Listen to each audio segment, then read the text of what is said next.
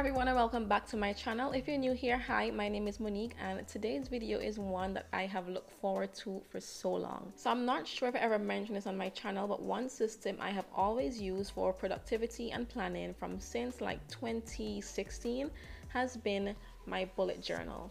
This thing has been through everything with me and I've started and stopped using this so many times that I've never once needed to get a new journal I've literally had this one since 2017 and it's now 2022. But in this video, I wanted to show you guys something else I've been using for my planning and productivity that I've been really enjoying so far and I'm so excited to share with you guys. So late last year, I discovered Notion and honestly, I have not looked back since.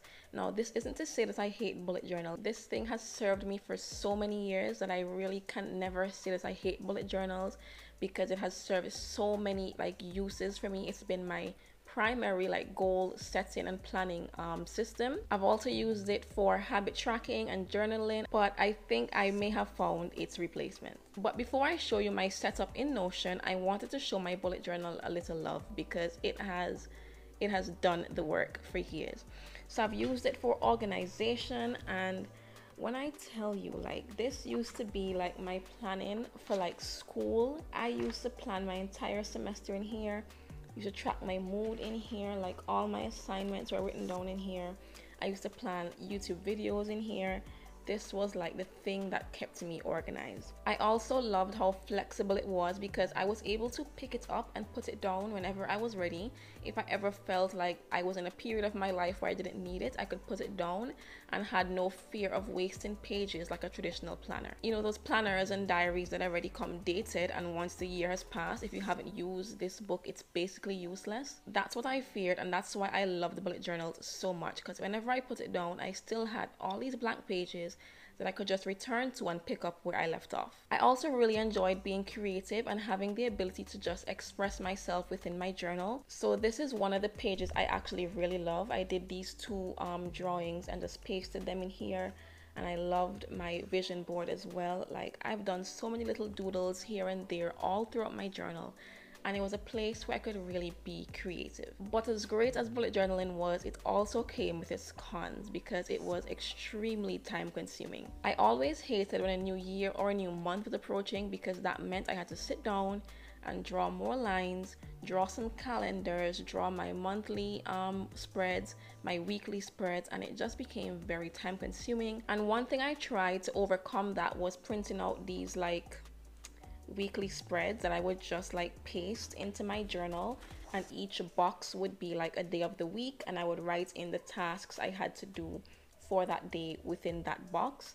And I mean, that worked out for quite a while. Like, that was doing pretty good for the first few months of last year. But honestly, it still took up a chunk of time sitting down there with a glue gun, pasting all these little weekly spreads into my journal. And it wasn't something that I look forward to doing anymore. Another con would be that it's very difficult to make your bullet journal look good. And when I say that, I'm not saying I think my journal is ugly, but in comparison to all the other journals you see on the internet, on YouTube, on Instagram, like mine just does not seem to compare and i think that it just comes down to comparison everybody else had all this fancy cursive handwriting the brush pens and everything and mine in my mind just never seemed to compare like ever. Mine has never looked as good as i thought other people's journals were. Then there's the price of the supplies.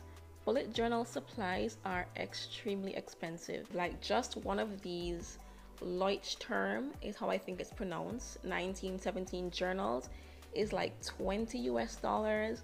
And then a pack of like the Tombow um, brush pens, I think, is like another 20 something dollars. And you have to get the washi tapes and the fine liners and the ballpoint pens, and it just is a lot. The supplies are really expensive. And the final con I could think of was that my journal can be lost. Imagine spending that much money and that much time on a journal just to lose it somewhere and everything you've planned and organized, it's all gone to waste because everything was in a journal. So I spent some time creating a digital bullet journal within Notion that solves all the problems of traditional journals without compromising the good things. So now let's jump into my Notion so I can show you guys what all the hype is about. So this is the bullet journal that I created and I'm honestly so proud of it. It turned out really good. Um, so this honestly contains every single thing that I would have had in my traditional journal. So at the start of my journal, I love to have this gratitude and self-awareness and also the ritual section where I can write down the things I'm grateful for, what I'm passionate about, what I want to learn and do this year, and also my affirmations. So below that, I have my vision board, which gives me direction for the year. And I love to add in like quotes and things that I really want to keep in mind this year. This is not my actual vision board. I am just showing you guys a copy of what my journal would look like, but this is not my personal journal, by the way. I should say that. And you can obviously create more columns if you needed to in case um, three isn't enough. So you can really and truly squeeze everything you need to squeeze within this vision board. And that is honestly one of the things I love about Notion. It's so customizable.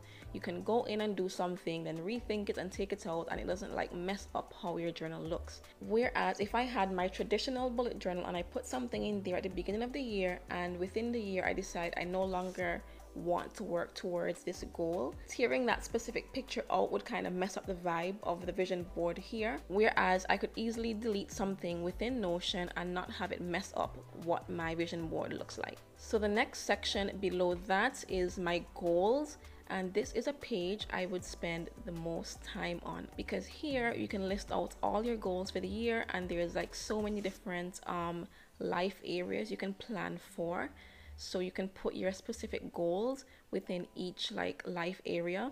And there's also a status section where you can see if the goal was completed if it's in progress if you haven't started it as yet. And one other thing i love about this is that it also has the top five goals. So once you switch to the top five goals you can see your top five focused goals for the year. Because as much as we love to set this long list of goals for ourselves for the year, you can only really and truly focus on a few. So this is where you would see your top goals for the year. And I recommend three to five. So you can either switch between the top five view or see all your goals. Now below this is my favorite section. I kind of lied when I said that I spend the most time in the goals section. I actually spend the most time in the planner section. So here you can see your month at a glance and this is what I meant when I was saying I hated drawing lines for calendars like imagine having to draw calendars for the entire year in a journal. I couldn't do it anymore. So right here I have my calendar and you know I can put my YouTube videos on here. I can schedule anything else I want to put on here in my calendar. And this is a synced block within Notion and I'll show you how this can make your life so much easier in a few minutes. So that's your month at a glance and then under here you have your weekly spreads. So I've created a few like mock-up weeks so you can get the idea of what a weekly spread would look like. So let's open week 48 and here you have your weekly spread. And with your weekly spread, I've created this area for your quick links where you can jump between the weeks. So instead of having to jump out of this weekly spread back to the primary page for the bullet journal to then find another week you're looking for, you can easily jump between last week and this week right here from within your weekly spread. So that's the quick links. And then you have your goals for the week. You can set your top goals for the week right here, your focus this week.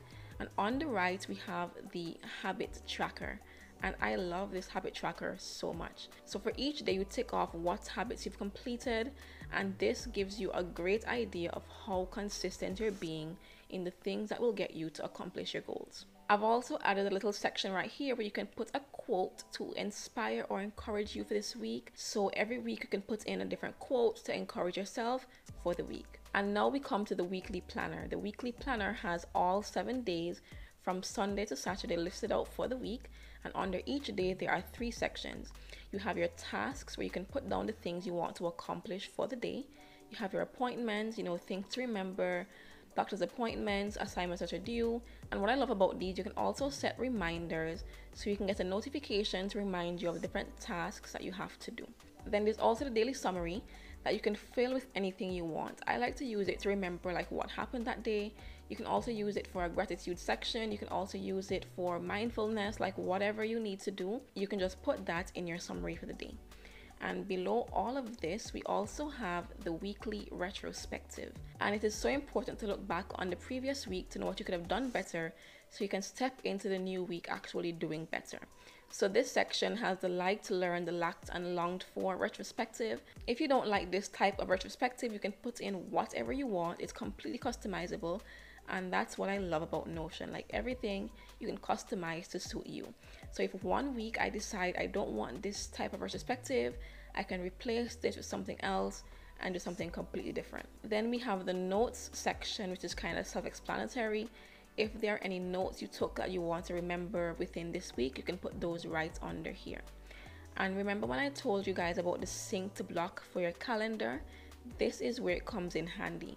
Because let's say that you were within a weekly spread, you know, planning out your week up here, and then you decide, oh, I think I need to see something on my calendar. Like I don't have to jump out of this page to find my calendar. It's right under here, it's all synced. So if I needed to see my calendar really quickly, I can do that from right in this page. So, so far I've been really enjoying my digital bullet journal. It saves me so much time no more drawing lines and writing in calendars and accidentally making mistakes in the dates on the calendar and having to either like write it out or tear out the page and start over like all that is done with i have my calendars already set out in front of me and this is the biggest time saver. It also looks really cute and if you guys don't know my favorite color is yellow. I think you guys could have already picked up on that just from seeing this journal that I just love to see how this looks and you can always customize the headers on your page, the colors of your text and make this exactly how you want it to look. It's also extremely cost effective because Notion is absolutely free for a personal plan. All you would need is a device and internet, which I think most of us have anyways. So I'm gonna say that this is completely free. It is also 100% safe because I cannot lose my journal. So even if I was to lose my device, my journal is still safe because it's not like a physical journal, it's online. So as long as I have another device, I can get right back into my journal. And just like the traditional bullet journal, it's extremely flexible. So let's say I skipped out a couple of weeks, I didn't need my journal, and then I wanted to pick up another weekly spread. Like the last time I used this journal was on the last week of 2021. So I could just add a new weekly spread. And this is like a one click setup with your um, digital bullet journal for your weekly spreads.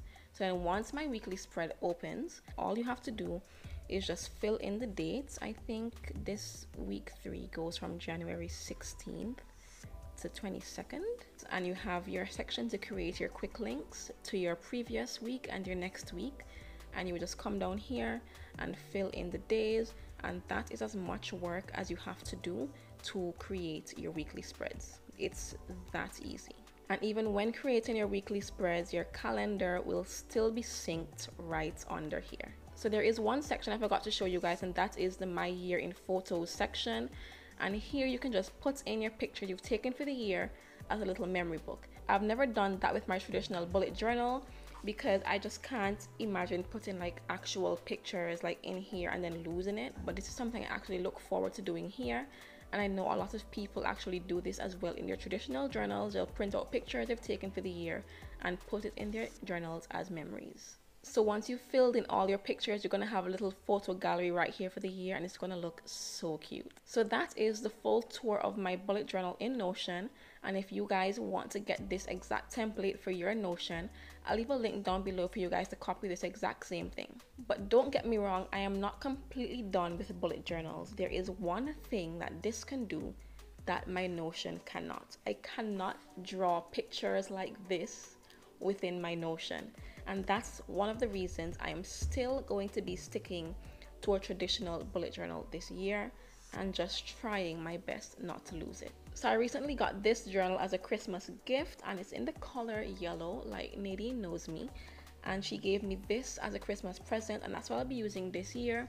If I have any drawings I want to put in there I can just use it for that. But my main planning and everything is going to be within Notion this year. Anyways guys, that's all I have for you in today's video. I hope you guys really enjoyed it and I hope you can check out the template I have linked down below. I'll catch you guys in my next one. Bye guys.